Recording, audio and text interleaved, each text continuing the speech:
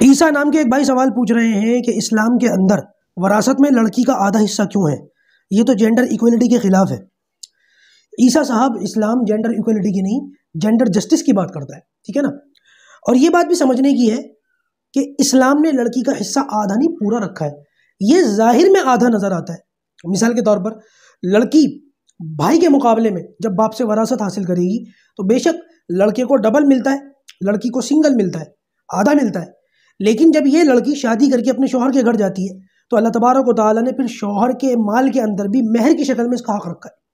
समझने के लिए यूँ समझा जा सकता है कि आधा इसको पहले बाप की शक्ल में मिलता है और फिर बा, बाकी बचा हुआ आधा शोहर की तरफ़ से महर की शक्ल में मिलता है। और फिर ये भी कमाल की बात है कि बाप भाई या शोहर कमाने की ज़िम्मेदारी अल्लाह ताला ने इनके ऊपर डाली है।